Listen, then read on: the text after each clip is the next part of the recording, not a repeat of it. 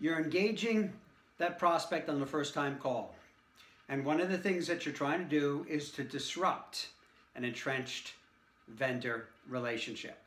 How many of us have fallen into that trap where we've asked these types of questions? The questions are, well, what do you like about your current vendor? Or a similar one is, what is it you don't like about your current vendor? Those are two risky, dangerous questions because you may not get the answer you like. Also, they may articulate and reinforce the very reasons why they should stay with their current vendor. A better question to ask is, tell me the ideal qualities that you look for in a vendor relationship. When we focus on the ideal qualities or the ideal attributes or the ideal criteria, we can sell to that because that's what they're looking for. Uh, service, the quality, the integrity, the communication, the support, or whatever. I want to know what drives that.